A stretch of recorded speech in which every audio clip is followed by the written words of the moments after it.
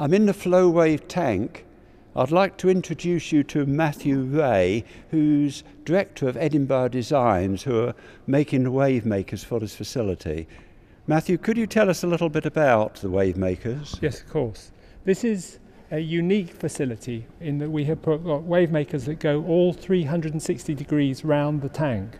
So in total we have 168 wave machines, identical wave machines like this, and they all they go all the way round. They act on the water in front, and then there's a dry passageway which we can walk through to maintain and look after the machines. In the middle of the tank, we've got a series of current generators which can generate current from any direction. We can either go from north to south or east to west or change dynamically as we progress through the experiment. We're now here at the base of the tank. Now imagine that there's going to be a big floor that separates the top part of the tank from the lower part of the tank. Water is moved from the top part to the bottom part by these big ducts and there's 28 of them in a circle all the way around the tank. So we've got a big propeller here that we draw the water in.